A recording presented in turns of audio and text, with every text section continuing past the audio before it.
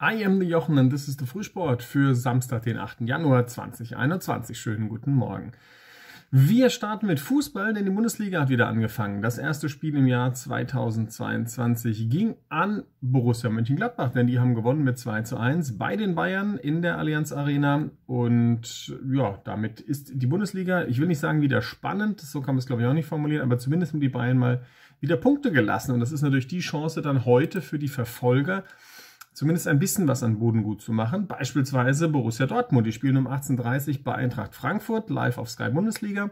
Und bereits am Mittag gibt es um 15.30 Uhr die große Nachmittagskonferenz mit fünf Partien. Die da wären Leverkusen gegen Union Berlin, Leipzig gegen Mainz, Freiburg gegen Bielefeld, Greuther Fürth gegen Stuttgart und Hoffenheim gegen Augsburg. Alle Spiele live natürlich auf Sky Bundesliga einzeln oder in der Konferenz. Zweite Liga und dritte Liga Fehlanzeige gibt es an diesem Wochenende noch nicht. Die steigen erst nächste Woche wieder ein ins Spielgeschehen.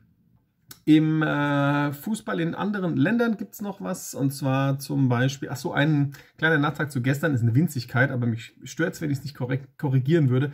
Ich habe gesagt, Lazio Rom gegen Empoli 3 zu 3 und Empoli hat in der Nachspielzeit noch ausgeglichen. Es war andersrum, Lazio Rom hat ausgeglichen in der Nachspielzeit. Ich glaube, ich habe es falsch rum gesagt, aber das ist hiermit jetzt auch korrigiert. Es bleibt beim Endergebnis 3 zu 3. Äh, in der französischen Liga hat gestern Olympique Marseille gewonnen, äh, 1-0 in Bordeaux und hat damit äh, in der Tabelle seinen zweiten Platz gefestigt, aber zehn Punkte hinter BSG wird das, glaube ich, auch nichts mehr mit der Meisterschaft für Marseille in diesem Jahr. Äh, England FA Cup gestern noch ein Spiel. Manchester City zum Auftakt gewinnt 4 zu 1, ähm, ja, relativ äh, humorlos bei Swindon Town und ist damit eine Runde weiter. Und das sind dann auch gleich so die Wettbewerbe, die es heute gibt. Italien macht Pause an diesem äh, Wochenende. Die hatten ja gerade erst auch den vollen Spieltag am 6. Also dann nicht in diesem Wochenende, heute machen sie Pause. Morgen spielen sie wieder. Aber es gibt FA Cup live auf The Zone zu sehen. Zum Beispiel 13.45 Millwall gegen Crystal Palace, um 16 Uhr Leicester City gegen Watford und um 18.30 Uhr Chelsea gegen Chesterfield das aus dem FA Cup, die nächsten Spiele. Die Ligue 1, äh, ja, Lille gegen Lorient ist ausgefallen wegen Corona und Lens gegen Rennes spielt am Abend um 9. Ich glaube, es wird aber gar nicht gezeigt auf der Zone. Findet aber statt. Dafür zeigen sie aber La Liga und zwar alle vier Spiele auf der Zone live, wenn sie stattfinden. Stand jetzt gehen wir davon aus. Da haben wir unter anderem um 16.15 Uhr Real Sociedad gegen Celta Vigo.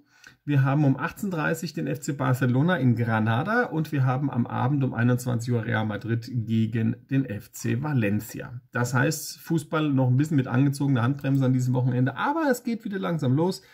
Äh, nächste Woche wird es dann natürlich richtig ähm, ausarten, wenn dann alle Ligen wieder da sind aus ihren Winterpausen. Gut, gucken wir zum Wintersport. Das ist das große Thema heute. Und da haben wir erstmal von gestern noch ein paar äh, Ergebnisse reingeflattert äh, bekommen man sagt nicht, wir haben sie reingeflattert bekommen. Ne? Sie sind uns reingeflattert. Es gab die Premiere gestern äh, in der nordischen äh, Geschlechterkombination, habe ich es ja gestern im Videotitel genannt. Der erste, der allererste Mixed Team nordische Kombinations-Weltcup-Wettbewerb. Äh, jemals. Und das deutsche Team mit Jakob Lange, Cindy Haas, Jenny Nowak und Terence Weber hat dabei den dritten Platz beledigt. Das äh, beledigt. belegt. Äh, schönes Ergebnis, Glückwunsch dazu. Zweiter Österreich und gewonnen haben völlig unüberraschend die Norwegerinnen und Norweger. So muss man es jetzt ja sagen an dieser Stelle.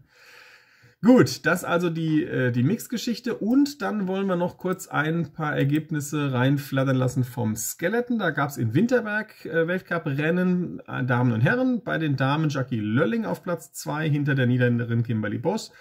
Und bei den Männern Axel Jung auf Platz 2 hinter dem lettischen äh, Weltcup-führenden Martins Dukurs. Das dazu. Und schließlich schlagen wir noch den Bogen zum Eisschnelllauf, denn da ist ja die Europameisterschaft am Laufen. Und was soll ich sagen? 3000 Meter der Frauen. Beste Deutsche auf Platz 7, Claudia Pechstein. Das ist unglaublich, oder? Also, wie alt ist sie jetzt? Ich will jetzt nicht unhöflich sein, ich müsste nachgucken, um ehrlich zu sein. Vielleicht sollte ich nachgucken, bevor ich jetzt irgendeine hohe Zahl hier in den Raum schmeiße, die dann gar nicht stimmt. Doch 9, 49. 49 ist die gute. Älter als ich.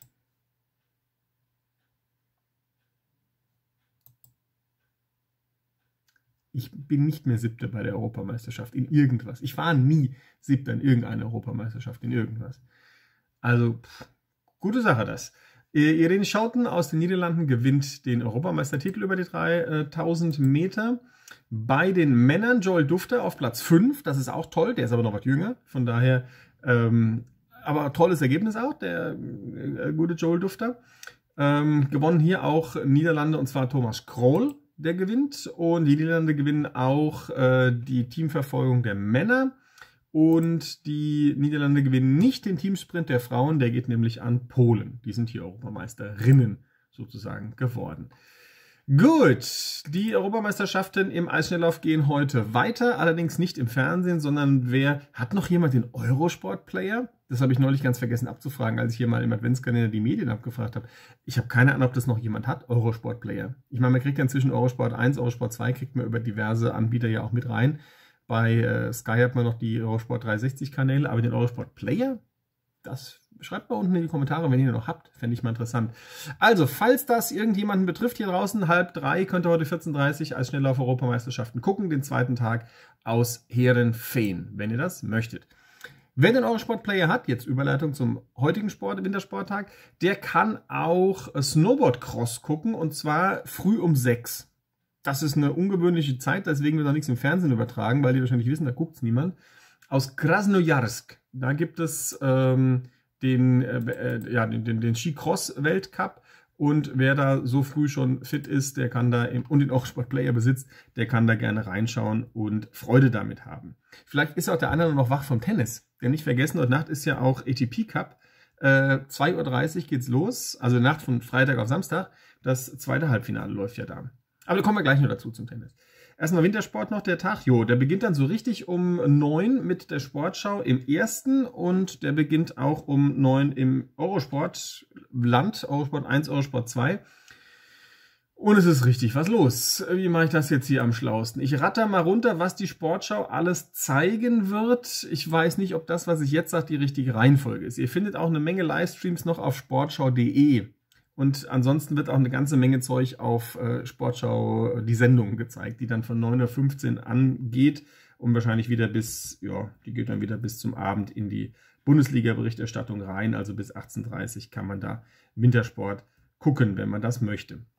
Und zwar für, im, im, im, im Schnelldurchlauf. Also Schn äh, Snowboard-Cross, Snowboard, Snowboard-Cross, Solter, haben wir schon gesagt, in Krasnojarsk. Dann gibt es Rodeln in Sigulda. Dann gibt es Ski Alpin äh, da sage ich vielleicht mal die, die, Zeiten, weil es auf Eurosport auch noch extra läuft. Eurosport 1, Riesenslalom der Frauen in, Krein, in Kranjska Erster Lauf um 9.30 Uhr, zweiter Lauf, wer gerne Frauen Riesenslalom gucken will, 12.30 Uhr.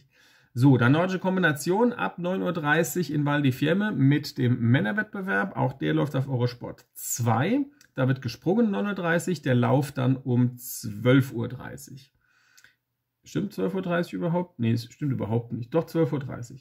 Nee, 13.30 Uhr. Guck an. Ähm, nee, das sind die Frauen um 13 Uhr. Das bringe ich alles durcheinander. Also die Männer springen um, um 9.30 Uhr und laufen um 12.30 Uhr und die Frauen, die laufen um 13.30 Uhr und springen dann um 18 Uhr. Die machen es andersrum. Die machen erst ihren Langlauf und dann wird hinterher gesprungen, Nachtspringen. Kann man ja mal machen. So, dann gibt es äh, Riesenslalom der Männer aus Adelboden. Erster Lauf 10.30 Uhr, auch auf Eurosport 1. Und im ersten in der Sportschau natürlich. Zweiter Lauf Riesenslalom der Männer um 13.30 Uhr.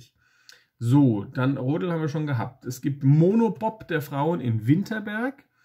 Es äh, gibt Biathlon Mixed Staffel in Oberhof. Das gibt es ab Viertel nach zwölf, auch auf Eurosport 2 unter im ersten. Und dann gibt es noch im Biathlon, bleiben wir kurz dabei, die Single-Mix-Staffel, die gibt es dann um 14.45 auf Eurosport 1 dann wieder und auf Sportschau. Also ihr merkt schon, Eurosport muss man heute sehr viel hin und her switchen zwischen 1 und 2. Vielleicht doch lieber im ersten heute mal gucken. Da ist man, glaube ich, auf einem Kanal dann dabei. Dann wird wieder gerodelt. Einzel, Doppel habe ich, äh, Doppel auch dabei. Ähm, dann gibt es noch Bobfahren in Winterberg mit dem Zweierbob der Männer. Es gibt parallel Riesenslalom im Snowboard in Squall. Das findet dann auch statt auf Eurosport 2 wieder um 14 Uhr. Die als Schnelllauf-EM habe ich schon gesagt, ab 14.30 Uhr im Eurosport Player oder eben dann auch Zusammenfassung im ersten. Um, Skispringen gibt es in Bischofshofen mal wieder. Ein Einzelspringen hatten wir erst zwei diese Woche, diesmal aber nicht für Schanzentournee, sondern nochmal ein Einzelweltcup. Den gibt es um 16 Uhr im ersten und auf Eurosport 1. Und dann gibt es, wie gesagt, um 18 Uhr noch die deutsche Kombination mit dem Frauenspringen. Das gibt es auf Eurosport 1 auch noch live. So, und dann irgendwann sind wir, glaube ich, durch mit dem Tag. Also es Wintersport, es Wintersportet überall. Macht einfach um 9 irgendwas an. Das erste oder einen der Eurosport-Kanäle. Und ihr bekommt Wintersport geboten. Da wird man euch also verwöhnen auf jeden Fall. Am heutigen Tage. Und nicht vergessen, noch einen Monat bis Olympia, ne? bis Beijing. Gut, dann kommen wir zum Tennis. Ich hatte es gerade schon angedeutet, ATP Cup, da haben wir inzwischen den ersten Finalisten. Und zwar gab es das erste Halbfinale, das hat Spanien gewonnen gegen Polen mit 2 zu 1. Damit die Spanier als erstes Team im Endspiel. Und die Gegner, die werden ermittelt dann heute Nacht jetzt äh, im zweiten Halbfinale, in der Nacht von Freitag auf Samstag zwischen Kanada und Russland. So, das Finale findet dann statt, wenn das schon jemand sich vormerken möchte, ab 7.30 Uhr am Sonntag früh. Also Nacht von Samstag heute auf Sonntagmorgen. 7.30 Uhr ATP, Cup Finale zwischen Spanien und, wissen wir noch nicht, Kanada oder Russland. Falls das jemand gucken möchte, kann er sich das schon mal soweit einplanen. Dann äh, schauen wir kurz aufs Eishockey. Die Deutsche Eishockeyliga hat gespielt. Äh, bemerkenswert hier, dass die Eisbären Berlin gewonnen haben in Düsseldorf. Na, nicht bemerkenswert. Düsseldorf hat schon wieder verloren. Ähm, und Ingolstadt verliert bei den Fishtown Penguins nach Verlängerung. Tabelle schenke ich mir, weil der halbe Spieltag ausgefallen ist. Wegen Corona. Heute gibt es im Eishockey nur ein Spiel und das kommt nicht aus Deutschland, das kommt aus der NHL. Und zwar Dallas Stars gegen Pittsburgh Penguins, 20 Uhr auf Sky Sport, wer gerne Eishockey gucken möchte. Basketball-Bundesliga, da hat gestern Abend Heidelberg gewonnen gegen Kreilsheim. Das ist für die Tabelle insofern interessant, weil die ähm, Heidelberger sich dadurch, jetzt bräuchte ich hier meine Tabelle, jetzt lädt sie gerade nicht. Das ist, wenn man das alles so digital macht. Gell? Zweiter Versuch. Ich kenne die Punktzahlen nämlich hier auswendig. So. Ähm, nicht die Heidelberger, die Kralsheimer. Die Kralsheimer haben sich auf Platz 4 weiter sitzen. Ich muss die Moderation anders anfangen. Die Kralsheimer verharren auf Platz 4, weil sie ja verloren haben in Heidelberg. Ich habe Teams, glaube ich, gerade verwechselt. Ähm, mit 20 Punkten, äh, Alba Berlin 20, Bayern München 22, Bas, Telekom Baskets Bonn 24. Das ist also die Top 4 momentan. Die Anzahl der Spiele allerdings 15, 14, 14, 16. Also auch hier eine unglaublich zerfledderte Tabelle, auf die wir eigentlich gar nicht so viel geben können im Moment. Ich muss auch eins sagen, ich hatte ja eigentlich jetzt vor, im Januar wieder diese Fußballtabellen zu zeigen mit den Abständen der einzelnen Teams das ist momentan wird immer sinnfreier, je mehr Unterschiede in den absolvierten Spielen da existieren, weil das kriege ich nicht abgebildet auf dieser Tabelle. Da hatte ich früher immer noch mal so ein Sternchen hinten dran, wenn jemand nochmal ein Nachholspiel hat, aber inzwischen haben die teilweise zwei, drei, vier Nachholspiele. Das könnte ich jetzt alles mit Sternchen vollstopfen. Ich weiß noch nicht so recht. Ich überlege mir das nochmal. Vielleicht kommen die wieder. Vielleicht warte ich aber noch mal ein paar Wochen. Lasst euch überraschen. Wer heute Basketball gucken möchte, der kann nicht schauen. Bamberg gegen Würzburg, das fällt nämlich aus. Äh, ihr dürft raten, warum. Je richtig geraten. Ähm, und ansonsten drei Spiele sind angesetzt. 18 Uhr Gießen gegen Göttingen, 20.30 Ludwigsburg-Bayreuth und der mitteldeutsche BC gegen Ulm und das alles auf Magenta Sport oder ab 20.30 Uhr auch auf Sport 1 die Partie zwischen dem mitteldeutschen BC und Ratio Farm Ulm. Das gibt es also auch im Free TV, wenn jemand da Bock hat, ein bisschen Basketball zu gucken. Herzlich willkommen. Äh, NBA es auch auf der Zone am Abend 21.30 die LA Clippers gegen die Memphis Grizzlies. So, apropos US Sports, die NFL startet ihren letzten Spieltag heute mit zwei Spielen, äh, beide auf der Zone. Um 22.30 empfangen die Denver Broncos die Kansas City Chiefs. Für die Broncos geht es um nichts mehr. Die Chiefs sind in den Playoffs sicher drin. Die spielen noch um ihre Platzierung, die sie dort in der Setzliste bekommen. Auch Platz 1 ist für die noch drin. Damit hätten sie einen Freilos in der ersten Runde. Mal gucken, ob es klappt. Und wir haben um 2.15 Uhr auf der Zone, im Anschluss also, die Dallas Cowboys zu Gast bei den Philadelphia Eagles. Auch die Cowboys spielen noch um ihre Platzierung. Und die Eagles, die sind in den Playoffs drin. Bei denen geht es noch darum, ob sie Sechster oder Siebter werden. Äh, die werden keine großen Sprünge mehr machen, sagen wir mal so. Aber trotzdem ein, denke ich, interessantes Duell, falls jemand dort Nacht sowieso wach ist. Äh, und das kann man ja wunderbar kombinieren. Man kann ATP Cup gucken und dazu äh, die NFL schauen und ja, und schlafen nicht. Ja. Wir reden über die Nacht übrigens von Samstag auf Sonntag jetzt wieder. Ne? Nur das ATP Cup war in dieser Nacht jetzt. Alles andere dann da. Gut, das also auch. Und was haben wir noch? Ansonsten müssten wir, glaube ich, durch sein. Tennis hatten wir, Fußball hatten wir. Ich glaube, das war's dann. Ach ja, Volleyball wollte ich noch kurz erwähnen. Da, ach, Biathlon-Ergebnis von gestern habe ich ganz vergessen. Guck mal einer an. Äh, Sprint der Männer in Oberhof. Äh, Loginov gewinnt und Johannes Kühn auf Platz 4, Roman Rees auf Platz 5. Tolle Ergebnisse für die Deutschen. Männer. Bei den Frauen äh, Olsby-Reuseland aus Norwegen gewinnt und die beste Deutsche hier, ähm, ja, nicht ganz so erfolgreich wie bei den Männern, äh, Vanessa Vogt auf Platz 12. Also für Top 10 hat es nicht gereicht. Da gibt es dann ja die Verfolgungsrennen am Sonntag in diesen ähm, in diesen, mit diesen Ausgangssituationen. Ja, und in der Frauenvolleyball-Bundesliga gab es gestern Stuttgart gegen Vilsbiburg. Das hatte ich ja auch schon empfohlen im Free TV und die Stuttgarterinnen haben gewonnen und damit ihre Tabellenführung bei zwölf Siegen in zwölf Spielen weiter ganz klar ausgebaut vor dem VfB Suhl und den Ladies in Black Aachen. Das sind doch noch Teamnamen. Schön.